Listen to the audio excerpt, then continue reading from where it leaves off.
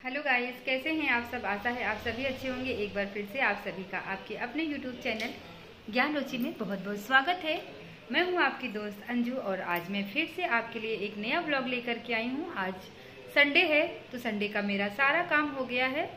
नहाना धोना भी हो गया है और सबसे पहले आप सभी को विश्वकर्मा पूजा की हार्दिक शुभकामनाएँ। आज विश्वकर्मा पूजा है तो सुबह जल्दी सब लोग उठ गए थे और सुबह की पूजा भी जल्दी जल्दी हो गई थी और हस्बैंड को ऑफ़िस भी जाना था क्योंकि ऑफ़िस में भी पूजा होनी थी तो वो चले गए हैं और हमारे भी घर के सारे काम हो गए हैं। बच्चे नहीं उठे हैं सो के, वो थोड़ा लेट उठे हैं। बच्चे करीब नौ बजे उठे हैं सो के तो सोने के बाद उनका नाश्ता भी मैंने रेडी कर दिया था। लेकिन जो मैंने पकाया था, मैंने सब्ज़ी पराठा उनके लिए बना के रखा था, लेकिन बच्चों का बिल्कुल भी पराठा खाने का मन नहीं था। आज का मन था पास्ता खाने का तो मैंने अभी अभी पास्ता बनाया है और बच्चों को खिलाया भी है। बड़ी बिटिया का मन था क्रीमी पास्ता खाने का तो मैंने उसके लिए क्रीमी पास्ता भी बना दिया है और कपड़े धुलने हैं। बच्चों की स्कूल की यूनिफॉर्म जो थी, वो भी धुलनी है क्योंकि आज संडे है और आप सभी जानते हैं कि संडे के दिन हम लोगों के पास बहुत सारे काम होते हैं क्योंकि बच्चों की ड्रेस भी धुलनी रहती है तो अभी उसको भी हमें धुलना है। हमने पूरा जितना भी हमारा कपड़ा था, सारा ऊपर पहुँचा दिया है और क्योंकि ऊपर ही हमारी वॉशिंग मशीन ऊपर है तो हम ऊपर ही कपड़े धुलते हैं। तो कपड़े सारे ऊपर चले गए हैं और अभी थोड़ी देर के बाद हम भी जाएँगे और ऊपर कपड़े धुलेंगे।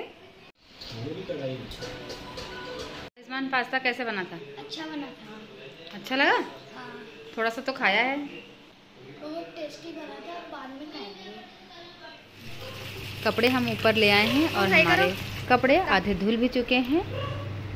कल स्कूल ना होता बच्चों का तो आज हम कपड़े नहीं धुलते क्योंकि आज विश्वकर्मा पूजा थी तो इसलिए हम लोग एक दो बजे तक बिज़ी रहे हैं और उसके बाद कपड़े धोने का बिल्कुल मन नहीं हो रहा था, लेकिन स्कूल है और बच्चों के कल से एग्ज़ाम भी स्टार्ट हैं तो इसलिए जो ड्रेस है बच्चों की धुलनी ज़रूरी थी तो ड्रेस के साथ हमने और भी बहुत सारे कपड़े धुले हैं। कल भी हमने बहुत सारे कपड़े धुले थे, ढेरों कपड़े हमने धुले हैं तो ये सूख भी गए हैं।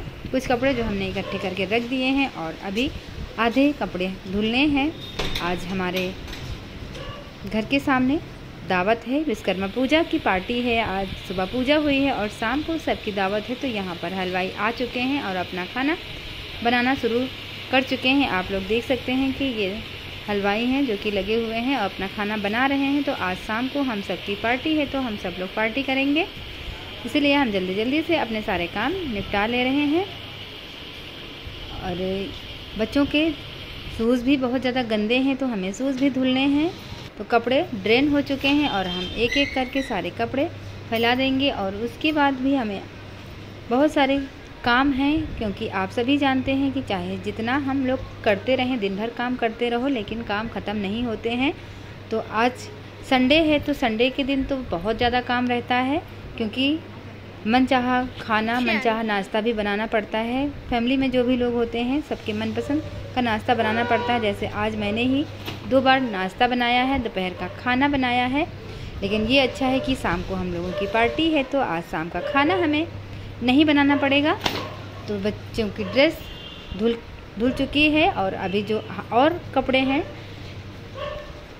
तो वो अभी धुलने बाकी हैं क्योंकि ड्रेस ज़्यादा ज़रूरी थी तो इसलिए हमने सबसे पहले ड्रेस धुली है ताकि ड्रेस कहीं सूखने को ना रह जाए, इसलिए हमें ड्रेस पहले धुलनी थी तो हमने ड्रेस धुल के फैला दी है और जो कपड़े दूसरे हैं, वो भी हम एक एक करके डाल देंगे, सुखा लेंगे, क्योंकि ये हम शाम के समय कपड़े धुल रहे हैं और एक घंटे बाद इन कपड़ों को हम नीचे उतार ले जाएँगे, क्योंकि आजकल मौसम का भी कुछ भरोसा नहीं रहता किस टाइम बारिश होने लगे।